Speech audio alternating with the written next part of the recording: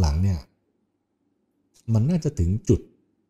สิ้นสุดของการสร้างพรรคการเมืองแบบ based on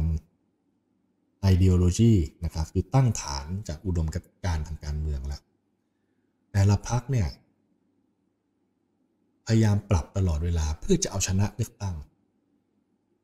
การเมืองในแบบดั้งเดิมที่จะตั้ง based on ideology เช่นคุณเป็นชาตินิยม คุณเป็นมาร์กซิสคุณเป็น socialistมันน้อยลงน้อยลงน้อยลง แน่นอนคุณติด ฉลากพรรคคุณว่าเป็นพรรคซ้ายพรรคขวาอะไรก็ว่ากันไป แต่ในทางปฏิบัติเนี่ยทุกพรรคเวลาลงเลือกตั้งทุกวันเนี่ยก็พยายามจะยั่วยวนพยายามจะแสวงหาคะแนนนิยม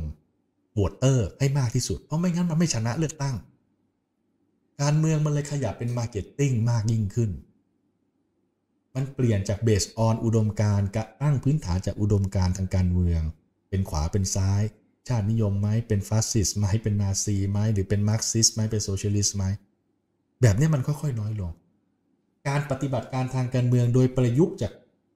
อุดมการณ์ทางการเมืองของตัวเองเนี่ยน้อยลงน้อยลง มันกลายเป็นปฏิบัตินิยมมากขึ้นว่าทำยังไงวะคนถึงจะชอบทำยังไงวะคะแนนนิยมถึงจะสูงทำยังไงวะถึงจะได้คะแนนเลือกตั้งมากยิ่งขึ้น นโยบายต่างๆ ก็จะออกไปในลักษณะที่เฮ้ย ไปดูที่ว่าแบบเนี้ยประชาชนชอบ แบบนี้ประชาชนชอบก็เสนอนโยบายแบบนี้ไปนะครับ แต่ละพรรคหน้าตามันก็จะคล้ายๆ กันมากขึ้น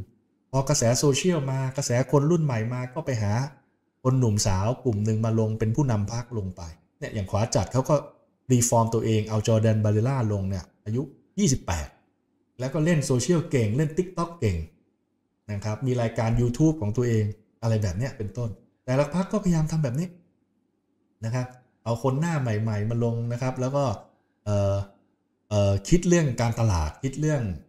ทำยังไงให้ได้คะแนนนิยมมากขึ้นมากขึ้นนะครับแต่วิธีคิดจากฐานทางอุดมการเนี่ยมันมันน้อยลงนะครับนะอันนี้ผมว่าเออพรรคการเมืองแต่ละพรรคก็จะเป็นลักษณะแบบนี้มากยิ่งขึ้นมากยิ่งขึ้นนะครับอะนี่เป็นข้อสังเกตนะครับ